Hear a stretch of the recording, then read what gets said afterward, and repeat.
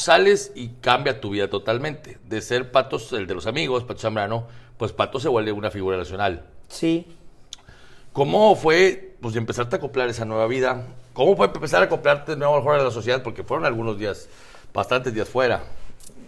No, no, no, yo nunca, yo nunca he dependido de la sociedad ni me interesa la sociedad. Digo, pero de el- cosas, no. sí, cosas a veces como el, el sueño, o sea, cosas tan sencillas como, ay, canijo, me siento medio extraño. Fíjate que no.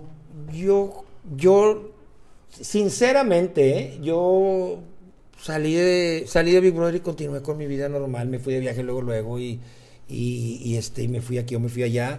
Después conocí a Irma Serrano, que, que, que fue una historia también muy bonita. Pasamos, ahí nacieron dos de mis hijos, este, María Jimena y Pato. Ok.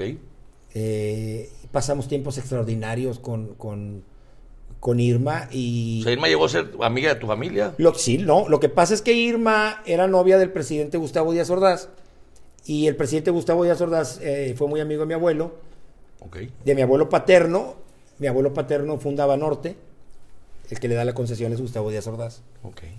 Y entonces eh, Irma conoce a mi abuelo por, el, pues por la cercanía con el presidente.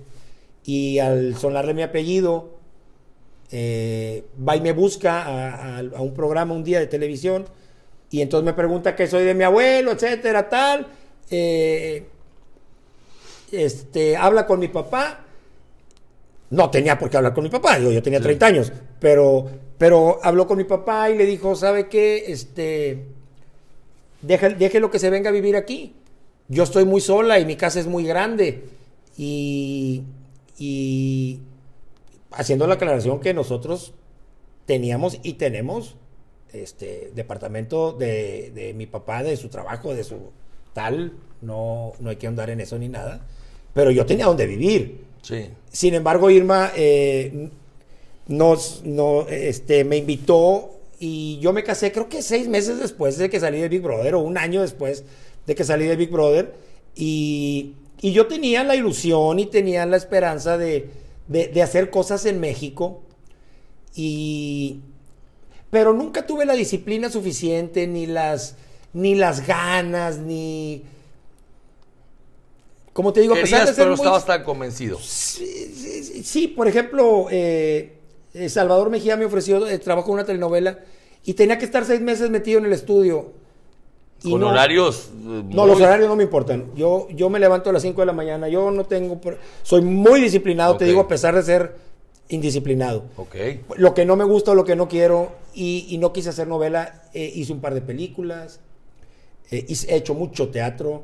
He hecho teatro con, con gente extraordinaria como Pompín Iglesias en paz descanse, como La Taravilla, como Mario Besares. eh, he hecho teatro con la maestra Nena Delgado, por supuesto, mi, mi maestra. Eh, he hecho teatro con, con Mónica Lozano. He hecho teatro Con Kevin Contreras. con Kevin Contreras, eh, con Fernando Lozano, primerísimo actor, etcétera. Eh, he tenido, he tenido Súper compañeros, pues, ¿eh? mucha suerte. He tenido, he tenido una vida eh, con, con mucha suerte, por eso eh, la gente de repente en mis en vivos, no, que tú criticas a no sé quién y que quieres hueso y que quieres. Nel. No. Es- esa no es mi película. Tú, tú traes Nah. otro.